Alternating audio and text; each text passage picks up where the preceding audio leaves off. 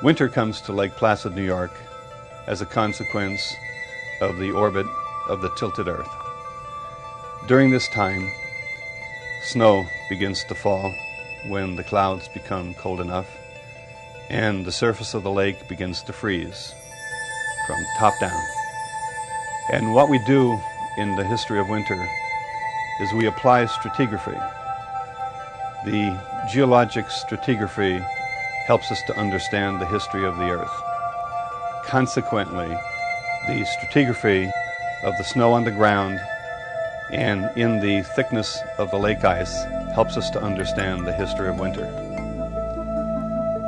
Over the years since 2001, we've had many different kinds of groups, uh, mostly teachers, and the main idea is to is to embed them. Don't teach them how to teach, but give them scientific content and have a real understanding of how science is done using snow and ice. So we put together a team. Uh, uh, I'm Peter Wasilewski, a scientist here at NASA Goddard Space Flight Center.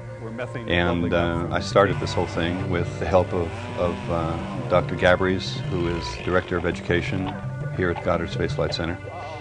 And uh, I got an old buddy from my first trip to the Antarctic, Tony Gow, who is now retired from the U.S. Army Cold Regions Laboratory in Hanover, New Hampshire. And then along the way, we have Eric Erbe from the U.S. Department of Agriculture and Alan Lunsford, who's our kind of techno expert, also from working here at the Goddard Space Flight Center. And then Mary Hindelang, who's been added most recently, who's dealing with winter ecology. So with the science team that we've assembled, uh, we feel that we can deliver a very effective program uh, to teachers, to, to uh, college professors, to, to uh, teachers in training. And that's our main, main goal. The time spent at Lake Placid is, uh, is really carefully designed. Uh, some of the, the minimal amount, amount of time is spent indoors in the so-called classroom setting. Most of the time is spent outdoors.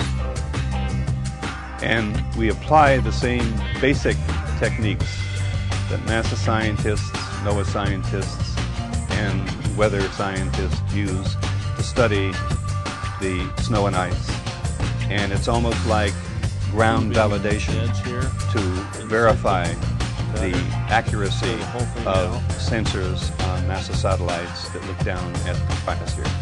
So there's a very good connection between what we do up there and what NASA does here at the Goddard Space Flight Center.